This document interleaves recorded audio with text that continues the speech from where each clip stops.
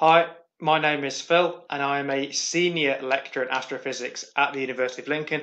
And I want to kind of go back to galaxies, but this time round looking at dwarf galaxies.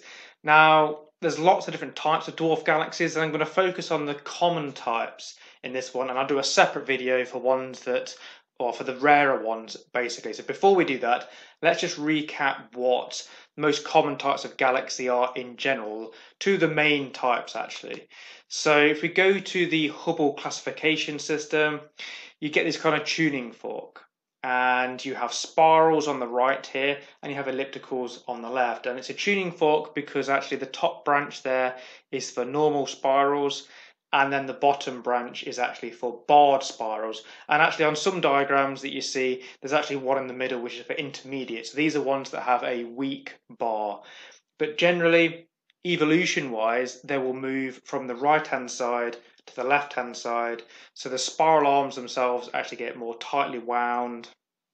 A few other things happen as well they reduce their gas content, things like that. They get redder, for example. But anyway, spirals sit there. They're disc-like. They have spiral arms. That's kind of why they're called spirals, essentially. Um, so here's an example of one. They typically have gas. So spiral galaxies have gas, which means that they have star formation occurring. And because they have star formation occurring, they will have a population of younger blue stars in comparison to older galaxies. And they've got disk-like dynamics. So they're kind of flat like a disk. They're not exactly flat, but they're not spherical and they rotate round in a disk, so they have like a net rotation to them. So key things then for spiral galaxies. And then you have your ellipticals, they sit kind of on the left hand side, and these are mostly defined by their shape. So we give them a classification purely on their shape, and it could be just line of sight how we're seeing them, or it could be a physical difference in their shape which gives them their more elliptical or more spherical shape. So they go from like E0 to E7 basically, and it's mostly down to their shape. And the main differences between ellipticals and spirals is that they don't have any star formation occurring, current star formation at least. The motions of the stars are more random, so they don't have a net rotation to them. The stars are more random, a bit like particles in the gas, it's a bit more randomized. They don't have any gas, which is why they don't really have any star formation and their the overall population of stars is older, redder stars, basically because they're older objects, and they obviously don't have the spiral arms, which is a fairly obvious thing. Is they kind of they have a smooth kind of surface profile. They don't have those spiral arms, any other features. They're quite smooth in appearance. Now, dwarf galaxies are basically just smaller galaxies. And there are, I mean, as an example here, we've got the Milky Way, which is a barred spiral galaxy, and its diameter is about 100 kilolight years, so 100,000 light years across. Dwarf galaxies, as an example, can be 3 to 10 kilolight years, so 3 to 10,000 light years across. There's quite a broad range actually on what they can be. They can be very small and they can be a little bit larger, but that's the sort of range you're looking at. So around like one tenth to less the size of kind of the Milky Way. So fairly small galaxies then. And if we're talking about masses, the Milky Way has a mass of approximately 2 trillion times that of the Sun. Whereas dwarf galaxies, it's going to be on the order of billions of solar masses instead. So big differences kind of in their overall mass and their actual overall size.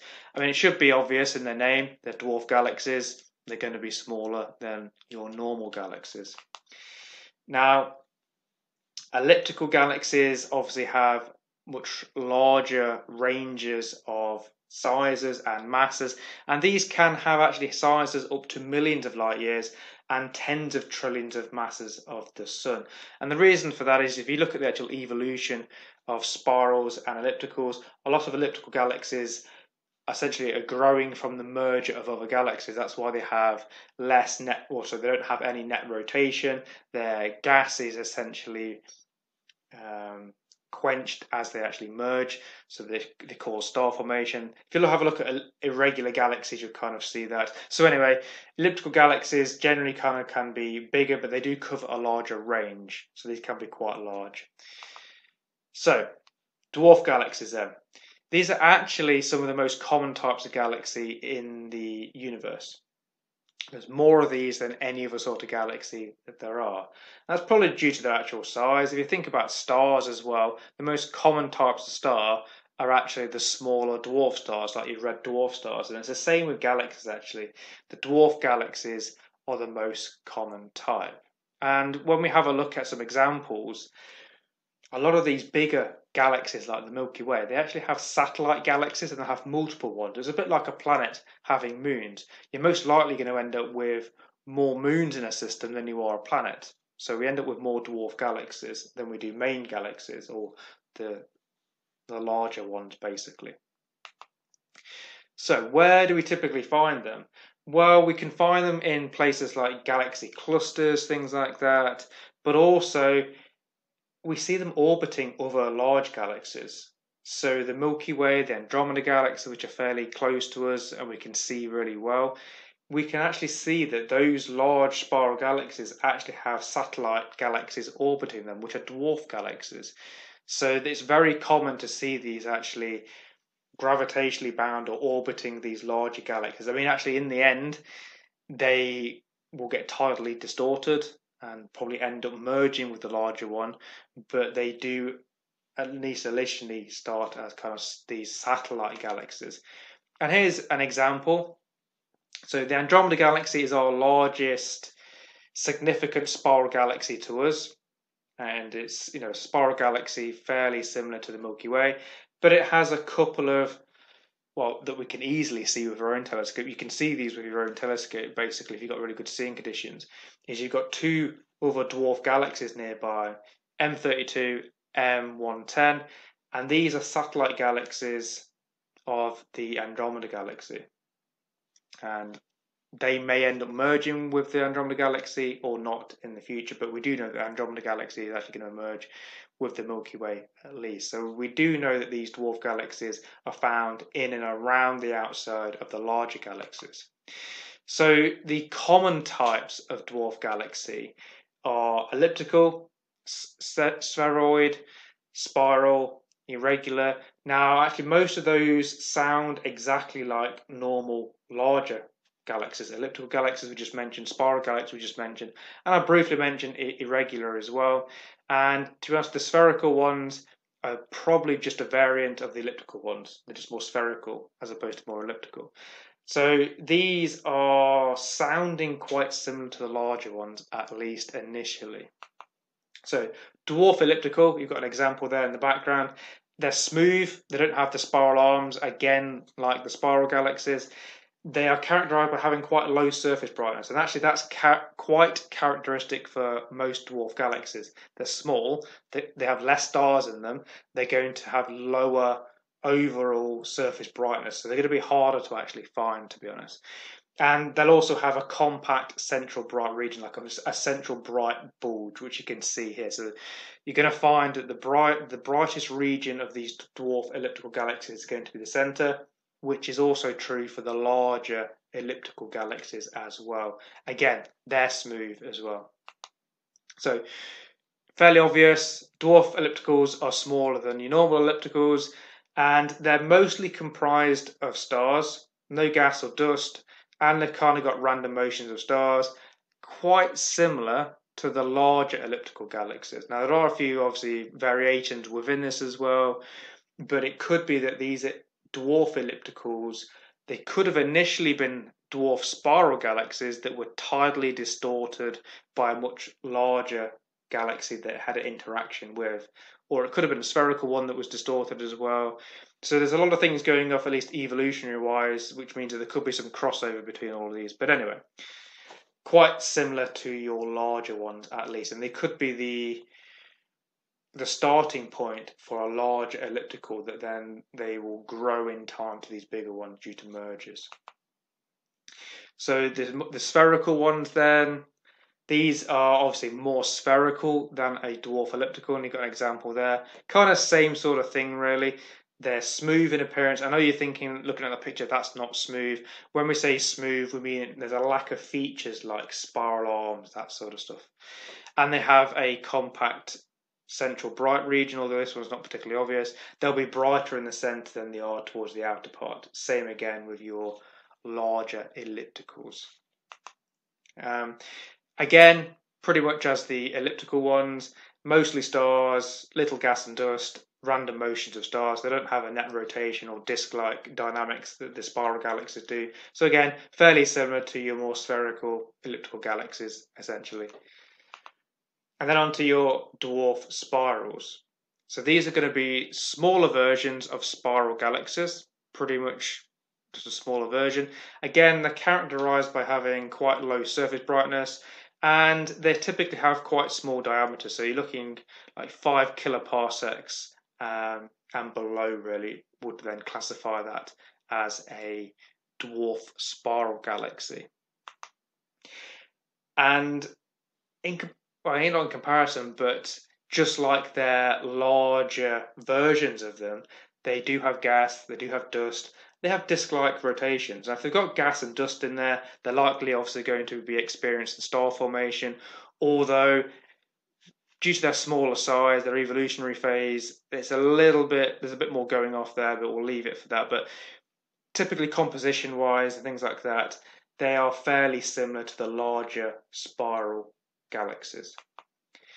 And then you've got your dwarf irregular galaxies.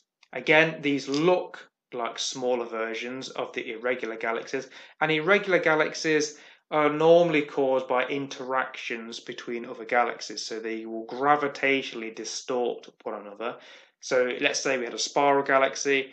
If you got two spiral galaxies kind of merging or gravitationally interacting, they would distort and twist their shape and it becomes irregular. It doesn't have a symmetric shape no longer.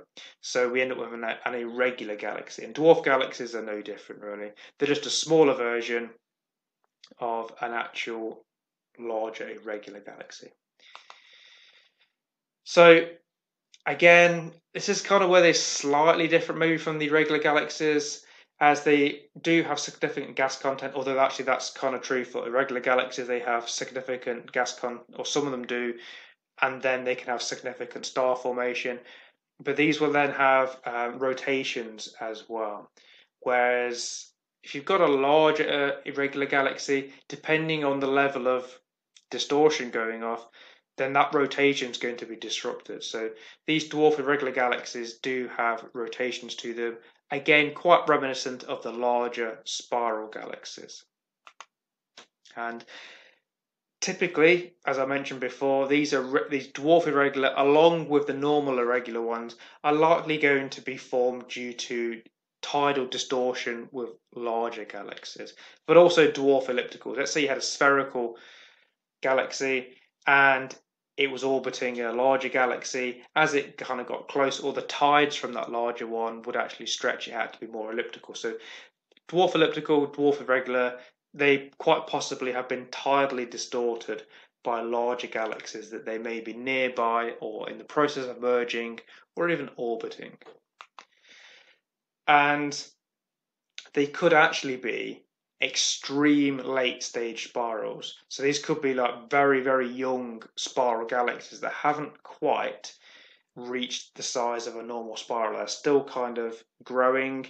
So this is another kind of route as well. And they could be like the precursors for the larger spirals because they have the net rotation, things like that. They haven't quite fully formed. They haven't got their form set in yet. So these could just be late stage spirals or extreme, I should say, and they would likely sit on that part of the actual Hubble classification tuning fork, really. They'd just sit right over there, because if you remember, the spirals are going to evolve right to left. So if these are extreme young ones or late stage spirals, they're going to then sit on that side and move across as they kind of grow and mature, essentially.